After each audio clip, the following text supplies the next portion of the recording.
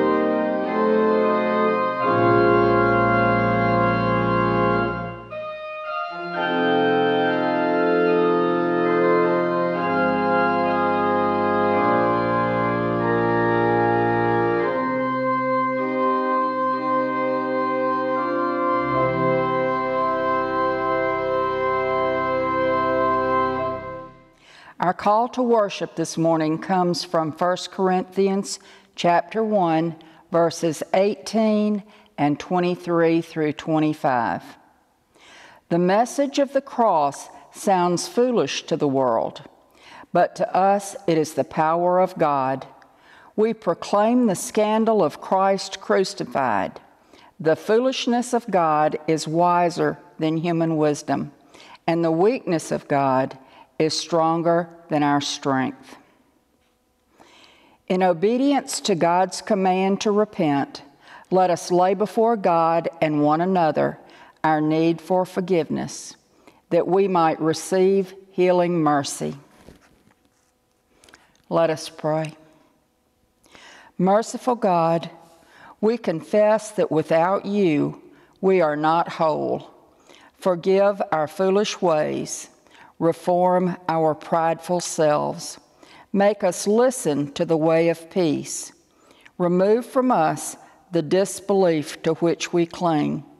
You are the one who liberates with a word and nourishes us with your own bruised body.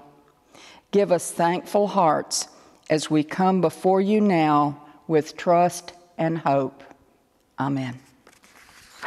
The God who knows you through and through, whose own body and blood were given for your freedom, who calls you to renewal every day, hears your repentance and by grace has made you clean.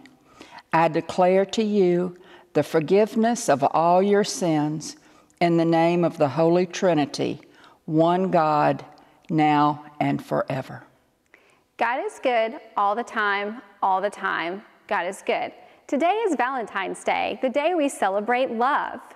We give cards and we give candy, we give small gifts and we give extravagant gifts. But I think it's only fitting that we celebrate love right before Lent and Easter because the story of Jesus is the story of God's extravagant love for us, God's love for you and God's love for me. God's love isn't like ours. You see, in our imperfectness, we hold on to hate and we remember when someone has hurt us. I can still remember hurts from friends from when I was in elementary school. I can tell you names, exactly what they did to me, even if I haven't seen them in 25 years. But God's love is not like that. God's love is constant. God's love does not change.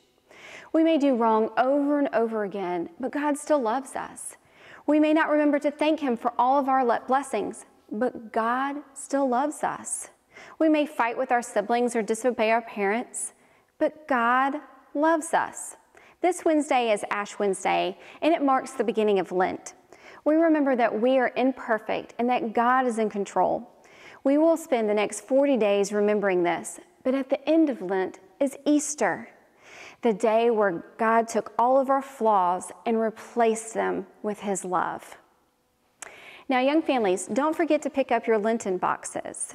And for any grandparents that would like to share this with their grandchildren, we have some extra in the church office, but this is on a first come, first serve basis. After the worship video today, talk to your children about God's love and teach them how to show it back. Let us pray. Holy God, give us ears to hear that what you command so that ready to do as you desire, we may see your guidance and protection and come to love our neighbors as ourselves. In Jesus' name we pray. Amen. Our first scripture reading is from Psalms 50, verses 1 through 6. The mighty one, God the Lord, speaks and summons the earth from the rising of the sun to its setting.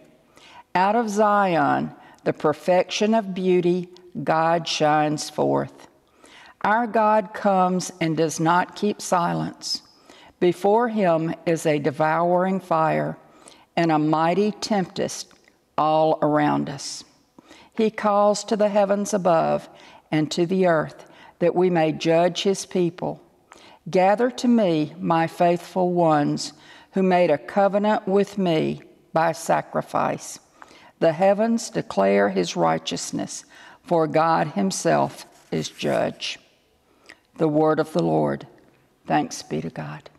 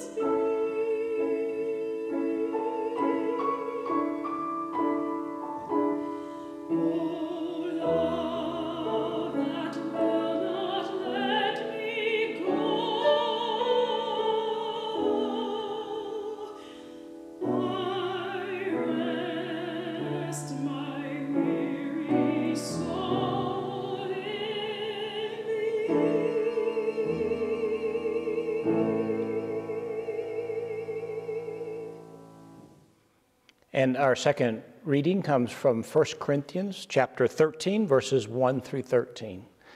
Listen for God's word. If I speak in the tongues of mortals and of angels but do not have love, I am a noisy gong or a clanging cymbal. And if I have prophetic powers and understand all mysteries and all knowledge, and if I have all faith so as to remove mountains, but do not have love, I am nothing. If I give away all my possessions, and if I hand over my body so that I may boast, but do not have love, I gain nothing. Love is patient, love is kind, love is not envious or boastful or arrogant or rude. It does not insist on its own way. It is not irritable or resentful. It does not rejoice in wrongdoing, but rejoices in the truth. It bears all things, believes all things, hopes all things, endures all things. Love never ends. But as for prophecies, they will come to an end. As for tongues, they will cease. As for knowledge, it will come to an end. For we know only in part, and we prophesy only in part. But when the completeness comes, the partial will come to an end. When I was a child, I spoke like a child. I thought like a child. I reasoned like a child. When I became an adult, I put an end to childish ways. For now we see in a mirror dimly, but then we shall see face to face. Now I know only in part. Then I will know fully, even as I have been fully known. And now faith, hope, and love abide, these three, and the greatest of these is love. This is the word of the Lord. Thanks be to God. I want to start with a real basic question. If someone were to ask you, why do you exist? What is the purpose for your life, and how do you know whether or not you're on the right track? What would you say? Well, the writers of Scripture would often talk about this subject. They would raise the question, what kind of person ought I to be? But the answers they gave were so complex, so obscure, so difficult to nail down that it's hard to say anything definitively, and I think you'll see what I mean. I'm going to walk through a number of statements from the Bible. Somebody asked Jesus one time how to live the good life, and his response was Love the Lord your God with all your heart, with all your soul, with all your mind and love your neighbor as yourself. When Jesus was telling his disciples how to live, he put it like this A new command I give you love one another. When Jesus told his disciples how they would be recognized as his followers, like what would their signature characteristic be, he said this By this, everyone will know that you are my disciples if you love one another. One of the disciples was named John. John would later on write this Everyone who loves has been born of God and knows God. Now, because John recognized that this is a subtle and hard to understand point, he said it backwards too, just in case we're still confused. Whoever does not love does not know God, for God is love. And then things got really confusing. Another disciple named Peter came along. Peter saw things differently than John because Peter wrote stuff like, above all, love each other deeply because love covers a multitude of sins. And then there was Paul, who became a follower of Jesus after the resurrection, sometime after the other disciples. Apparently, he didn't get the memo because he wrote things like, Make love your aim. And the goal of our instruction is love. And now these three remain faith, hope, and love, but the greatest of these is love. I know this is an incredibly complicated question. There's probably no way that we can sort through all these different perspectives to get at the root of what life was all about. But if you were going to try to say it in one word, if you wanted to give the Bible's answer to this question, what is life all about? What one word would that be? Let's try to say it out loud all together. It doesn't matter who you're watching this with. Life is all about love. It's all about love. Actually, it isn't rocket science after all. It turns out there really isn't any confusion about this at all. See, we live in a day and age that prizes success and achievement and advancement. And that's what the world tells us is what's most important. That's what we want our legacy to be all about. But the scriptures teach something very different. Over and over again in the Bible, there's one consistent answer to the question what is life's purpose? Life is all about love. Spiritual maturity is measured by love. The gauge of a life well lived is one's ability to love. And so today, in the time that we have together, we're going to be talking about the most important topic in the world it's about leading a life of love, and what an appropriate day to do so on Valentine's Day. Valentine's Day won't fall on a Sunday again until 2027, so we want to take advantage of this day. A moment ago, we read from the Apostle Paul's first letter to the church in Corinth, the 13th chapter. This is one of the most familiar passages in all the Bible. You've likely heard these words at every uh, words read at every wedding you've ever been to. This is the love chapter. And I want to say something about the context of this pattern, uh, passage because it matters immensely to how we think about love and how we practice it. You need to know that the church in Corinth was a mess. Um, if you read chapter 12, the chapter that comes before this one, you'll see that it's all about conflict, people showing off, pride, arrogance, anger, quarreling, and fighting in the church. And then chapter 14, the chapter following, is about precisely the same stuff. Things are just a disaster. Now, in the middle of all this is chapter 13, and, and here's why that's important.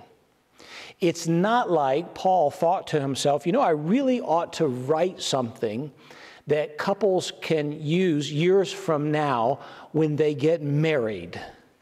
And so I think I'll just wedge in a chapter that can be used at weddings. Um, that's not what's happening here. These beautiful words are often read at weddings, and that's a real appropriate thing to do. But you make no mistake, this is not a wedding passage. In fact, probably nobody needs to hear these words less than a couple getting married on their wedding day. After all, that's usually when we're at our best, right?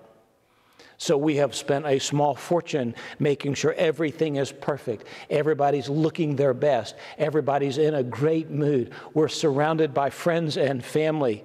That's not the context of 1 Corinthians 13.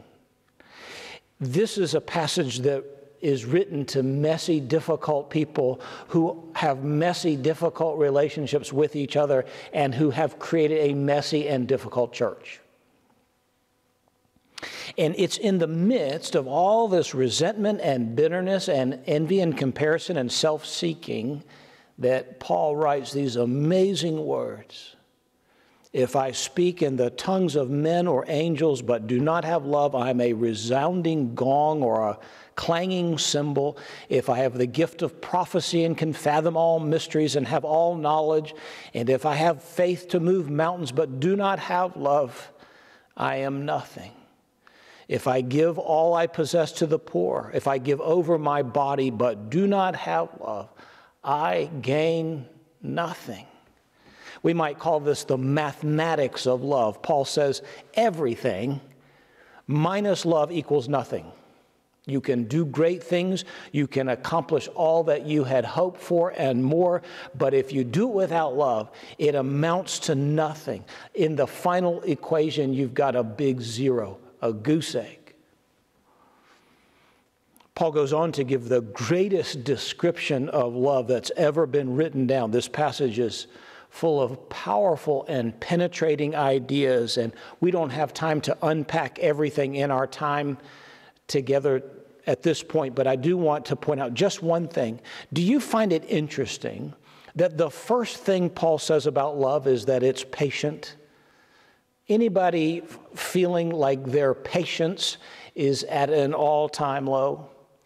Um, for some reason, maybe it's because we're feeling kind of cooped up. Maybe it's because we're not able to do many of the things that we want to do. For whatever the reason, it seems like people are ready to snap at each other over the smallest thing, over the tiniest infraction. Friends, love doesn't do that. Love is patient.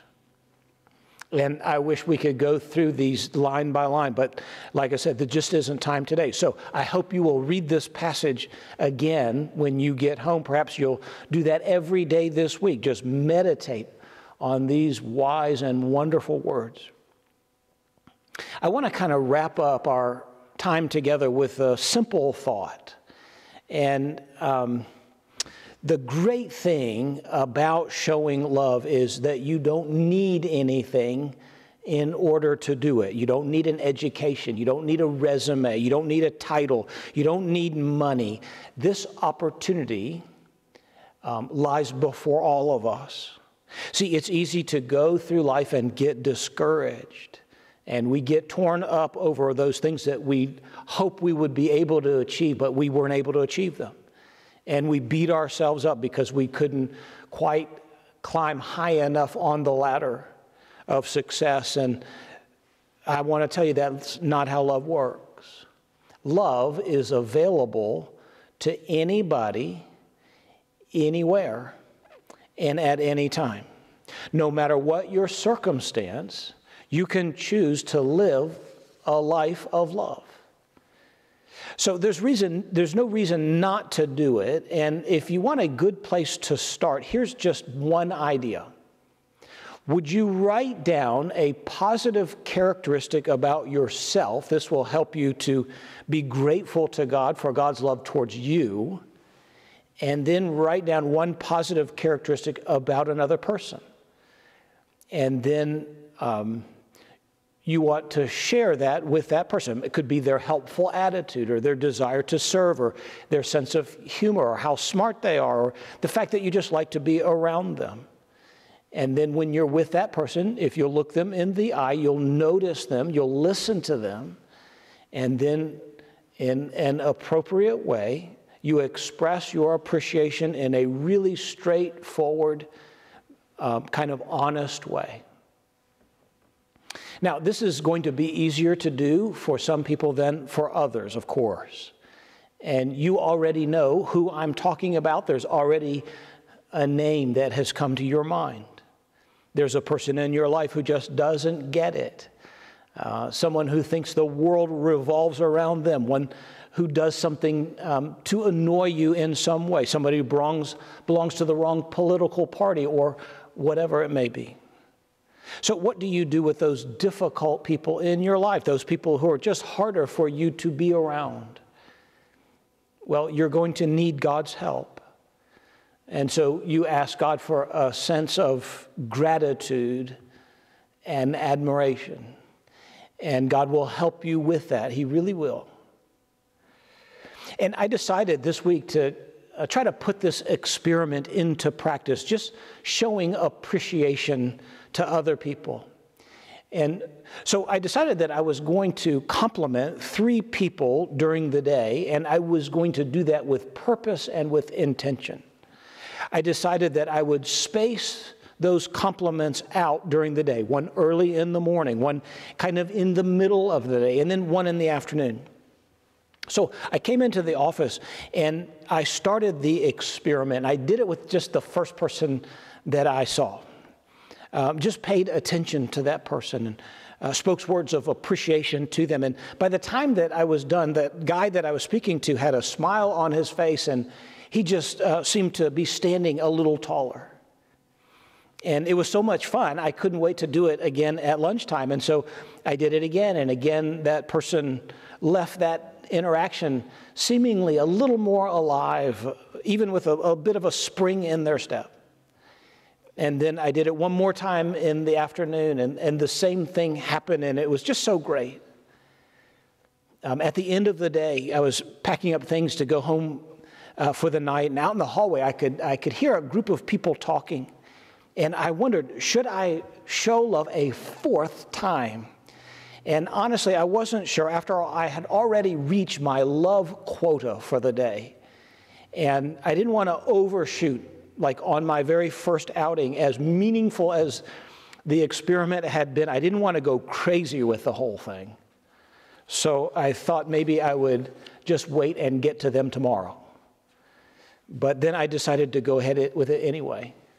And I got up from my desk, went over to this group, and gave compliments to four people uh, who were gathered there. And it was just so much fun, just indiscriminate, out of control blessing. And it felt so good. See, that's the amazing thing about showing love. I was trying to show love in order to bring joy, but turns out I was the happiest one of all. And all of a sudden, I wasn't so preoccupied with those things that I had to accomplish or I had to do. I wasn't um, as worried with solving uh, those problems that were before me or meeting those deadlines, just enjoying loving people as best I could. Friends, love is the reason that we are here. It's the reason we exist as, as a church. It's not about buildings, it's not about programs, it's not even about getting people's theology exactly right. It's all about love. I came across this quote the other day. I'm not sure who to attribute it to, but it goes like this No one who succeeds at love fails at life. And nobody who fails at love succeeds at life. And by the way, this is a kingdom principle. This is what a life in the kingdom is all about. This is that most excellent way of kingdom living. And frankly, it's available to anybody who wants it. Let us pray. So, God, would you make the reality of your love for us so powerful that nobody would leave this place without knowing that they are truly loved by you? And in that knowledge, may we live a life defined by love for others as well. We pray this in Christ's name. Amen.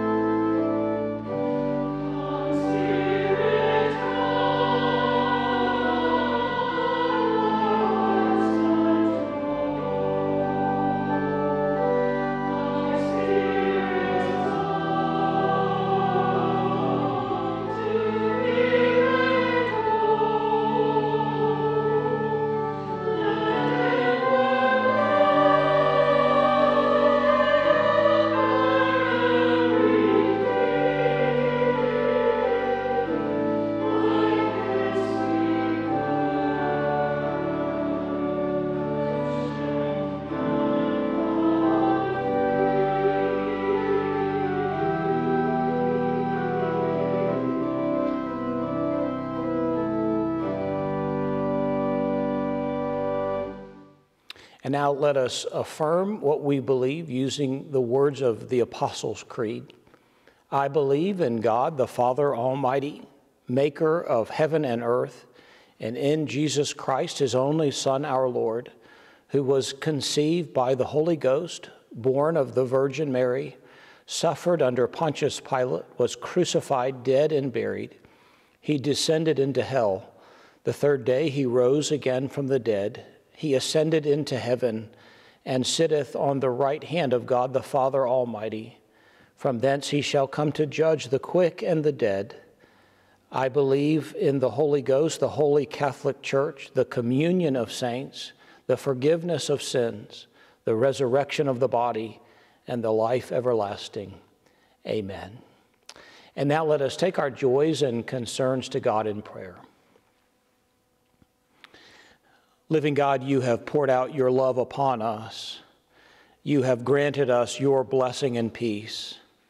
So now give us the courage and the confidence to love one another and to go wherever it is that you call us to go. And now hear the prayers of our heart for your church in the world.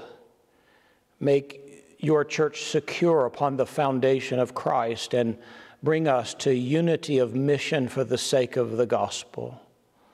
Lord, let your church be a living sign of the resurrected Christ, sharing the gift of forgiveness and the gospel of reconciliation, and most of all, the good news of your love.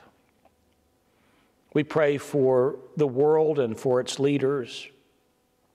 Uphold the leaders of governments who work for peace.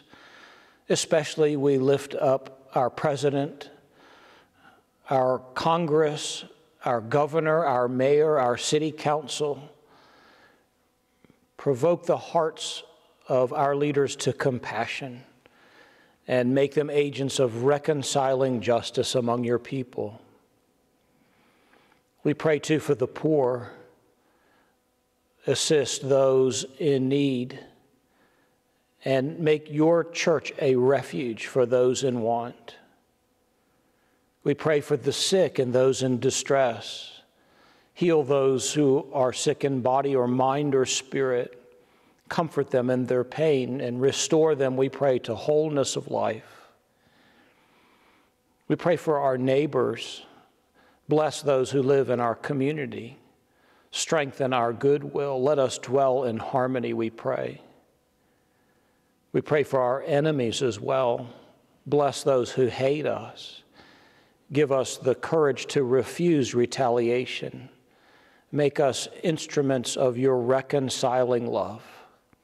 These prayers we offer through Christ and by the power of the Holy Spirit. Now, hear us as we join our hearts and voices together, praying as our Savior taught, saying, Our Father, who art in heaven, hallowed be thy name. Thy kingdom come, thy will be done on earth as it is in heaven. Give us this day our daily bread, and forgive us our debts as we forgive our debtors. And lead us not into temptation, but deliver us from evil. For thine is the kingdom, and the power, and the glory forever. Amen. And now, friends, let us respond to God's loving presence in our lives as we offer our tithes and offerings this week, seeking to serve those both near and far. On this Valentine's Sunday, we are reminded of our most important reason for being the purpose of our lives as sons and daughters of the King, and that is to lead lives of love. And now, as this service ends, go with God's blessing. And may the grace of our Lord Jesus Christ, the love of God, and the communion of the Holy Spirit be upon you and remain with you now and forever. Amen.